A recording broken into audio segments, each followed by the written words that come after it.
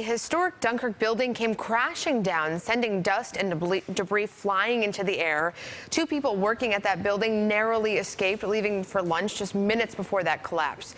News 4's George Richert has more from witnesses who say this sounded like an explosion. George? Well, it fell like a ton of bricks, many tons of bricks, in a busy part of the city of Dunkirk. But amazingly, no one was hurt. Just the sound it made was deafening. It was a roar. It was just after noon. Bob Valvo was working in his motorcycle shop right next to the portion of the Coburn block that collapsed. I heard a thump, And then, my God, a sound. I don't know. I couldn't decide if it was a train coming through the building or if it was even an earthquake. Man, I see bricks falling like rain. And, oh, the dust kicking up was phenomenal. Glenn McLaughlin shot this video with his drone and sent it to us after the collapse on Central Avenue in Dunkirk. It was built in 1868, and the portion of the building that collapsed housed a food pantry and furniture store operated by Rural Ministries.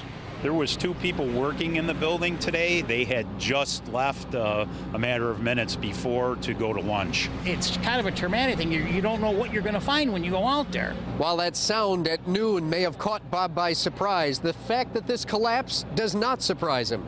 Not one bit. Not one bit. He believes an old brick wall on the west end wasn't shored upright, and then a truck backed into it last month. I was waiting for this to happen, but I wasn't sure if it was going to be this soon or not. Anytime something like this happens, there's a there's a concern for what's going to happen next. Red Cross volunteers showed up on scene to help the 30 residents who live in the remaining upstairs apartments. 17 of them are sleeping at SUNY Fredonia for the night. We're going to help them with some medicine. There's a lot of uh, medic medications that are in the building that they can't get right now. It will probably be a matter of days before a structural engineer can determine what caused this and whether those 30 residents are safe to go back into their apartments in the rest of the Coburn block.